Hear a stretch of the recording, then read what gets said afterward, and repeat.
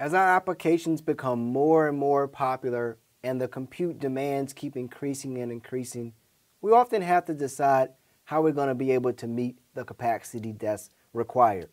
Hello, my name is Jamil Spain, developer advocate with IBM Cloud. And the answer to this mysterious situation that we're in is solidifying your hybrid cloud approach. What is, really is hybrid cloud when we talk about it? It seems like a very loaded term. It is a buzzword that we often hear about, but let's simplify it for a second. Hybrid cloud is really the combination of on-premise, uh, cloud, private cloud,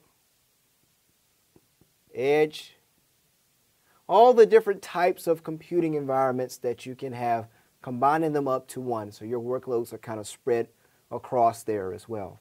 When we talk about the cloud providers, we're talking about a lot of the major providers, IBM being one, of course.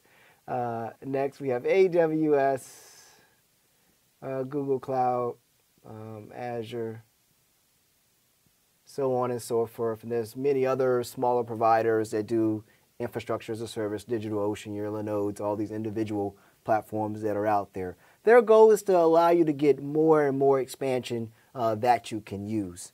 Now, when it comes to hybrid cloud, the first step that you normally go through is really leveraging a lot of native services that are there. That's really when you say you're using a cloud natively. It means that most cloud providers are going to have um, a particular they're going to have a particular set catalog of services and you're going to have the option to actually go in and leverage any of those as you want. Now, usually that will, uh, level one of maturity from an IBM perspective, thought leadership is you're using individual services to augment your capabilities there. So there'll be like, uh, we'll say single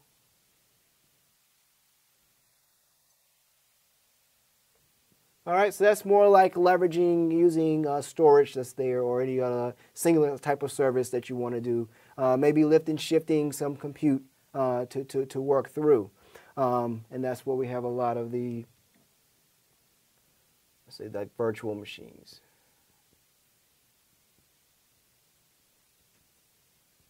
Lifting shifting is another term you hear, and that really talks about taking your, your initial method of computing and being able to move to a, a similar one in another environment. That way you kind of have that portability uh, that you achieve.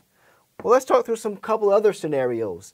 One other way to make hybrid cloud successfully is to set certain boundaries between these clouds. So let's say you have your on-prem or your data center, OP on-prem, all right, data center, and you want to work with another, you know, a, a cloud provider. Let's just say any of these. Let's just put them all in the same box here.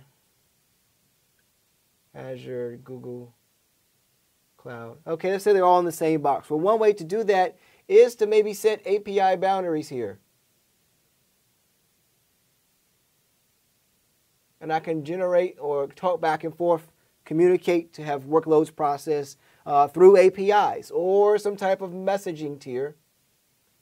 Could be message queues. There's different types of messaging that can occur from a messaging or Kafka.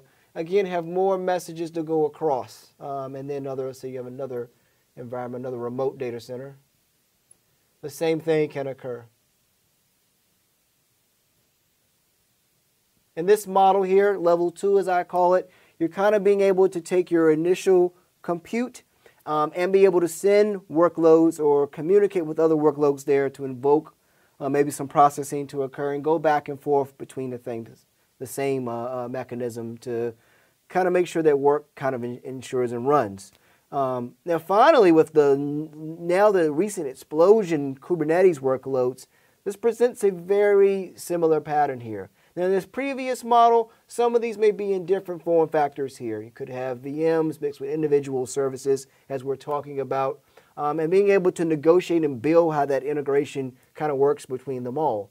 Well, when we actually do the third level, which is being able to have the concept of running workloads, the boundaries of cloud really go away. And once you're using more than one cloud provider, you're said to be multi cloud there. Now, at that level, each of these cloud providers may have different nuances to how their individual services work. So at that point, you really need some layer that standardizes how things and guarantee how things work no matter what cloud they're in. And that's very useful when you start putting in uh, things like Kubernetes all around. I'm just going to do the K here. We'll just do the K for Kubernetes. We can guarantee that everything kind of works the same as it goes. And that's one of the beauties of leveraging uh, uh, platforms like OpenShift because they have opportunities to run in all different clouds. And after you learn one platform, it functions the same in each other. All right. Um, so that's a common way of kind of elevating and scaling up as you go. But this has kind of been the topic of hybrid cloud. It's really about taking advantage of all the computing power necessary. Um, some of your use cases you may be using for this is to expand workload processing or just to build that next generation uh, uh, uh, set of applications or workloads cloud natively in a cloud. And so whether you're going natively on that platform or want to standardize on like a Kubernetes platform where you're guaranteed to have the same operation no matter where you deploy, uh, these are all opportunities that you have at your fingertips to use. I hope this has been useful. Good luck when you're expanding your architecture to handle your workloads. Thank you for your time. If you have any questions, please drop us a line below.